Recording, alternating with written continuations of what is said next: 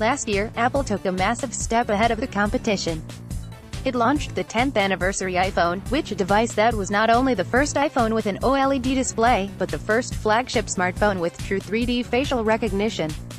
The iPhone 10 gained serious mileage over the competition via Face ID, a feature that allows users to unlock their devices and conduct secure online transactions by simply looking at their smartphone. Now, looks like Apple's got more plans for 3D sensing. Take a look below for the details. Apple's job listings show vacancies for engineers specialized in various aspects of 3D sensing as the company looks to solidify its lead. The iPhone X's TrueDepth camera module is unlike anything else currently present in the market. It works by having an IR emitter beam out 30,000 infrared dots that spread across a user's face.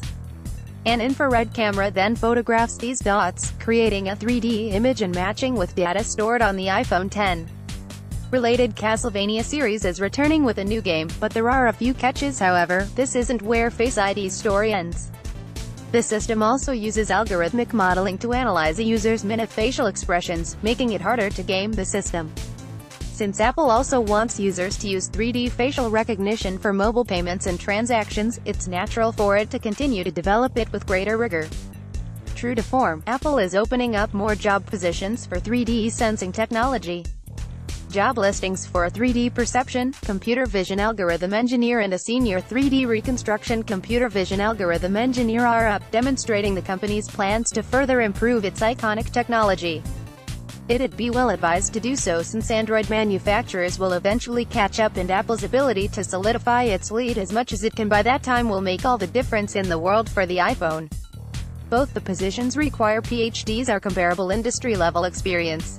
While TrueDepth is currently limited to the $1,000 iPhone 10, we expect all three of Apple's 2018 iPhones to house the feature. These include a $799 LCD iPhone, which Apple expects will be the trio's shining star. Right now, there are a few companies which can match Cupertino in the flagship smartphone market and Apple intends to fully capitalize on this by earning huge margins. Thoughts? Let us know what you think in the comments section below and stay tuned. We'll keep you updated on the latest. Sources 1, 2, 3.